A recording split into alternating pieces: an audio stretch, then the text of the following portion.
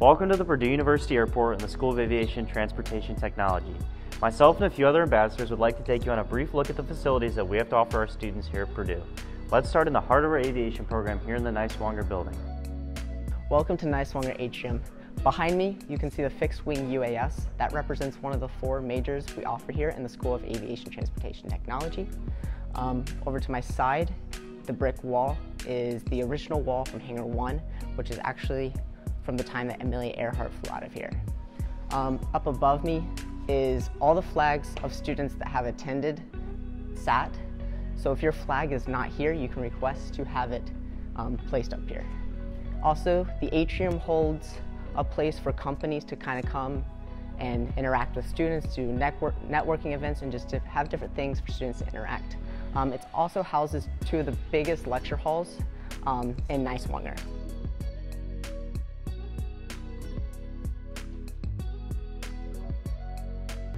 In the back of Niswonger, we have two test cells containing a PT-6 and an F109 turbofan. Students not only get to learn how to run these engines, but also how to operate and troubleshoot these test cells. At Purdue, we do a lot of alternate fuel research on, in these test cells and on these engines, which allow our students to have a lot more industry experience to be ready to go out and face the industry. Here in Hangar 1, AET students are able to get hands-on experience with many different types of general aviation aircraft. We're able to use the knowledge that we learn in class and put it into practice as we prepare for our airframe and power plant mechanic certificate. Also in Hangar 1, we house the Hangar of the Future, which is where students are able to participate in cutting edge uh, research in, for problems in industry using artificial reality, virtual reality, and drone systems. In addition to the general aviation aircraft we have here inside Hangar 1, we also have larger transport category aircraft, a Gulfstream 400 and a CRJ 100 outside for our upper level AET students to work on.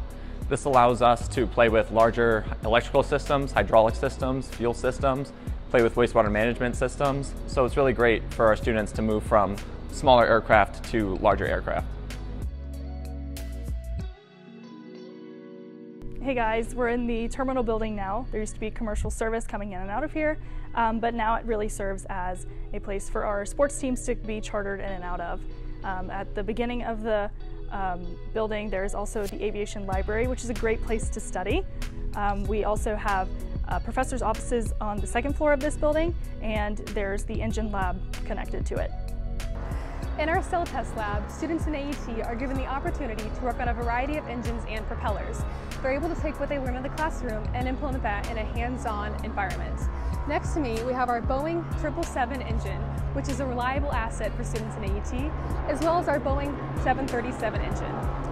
As for the hands-on experience, students are able to work on a variety of engines, including a Pratt & Whitney PT turbine engine, a Lycoming reciprocating engine, and Hartzell propellers. There is always something exciting happening here. Welcome to Hangar 6 West. Here is where professional flight students and CFIs come to get dispatched for flights and discussions for course content.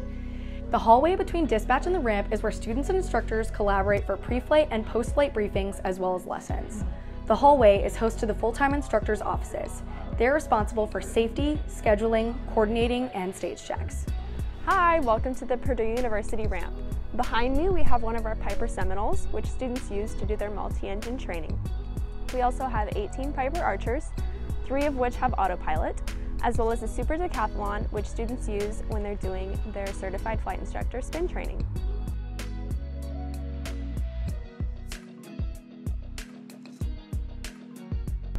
So welcome to our Airbus A320 sim. This one's fitted with the new Neo engines. This sim, in combination with our Boeing 737-800 Next Generation sim, really helps students focus on crew resource management and how to operate in a team environment. In part of CRM, you, your first officer, your flight attendants, ATC, ground crew, and passengers are all different factors to uh, take into account when operating large airplanes, especially in the airlines. Right here, you'll find some of our basic training sims.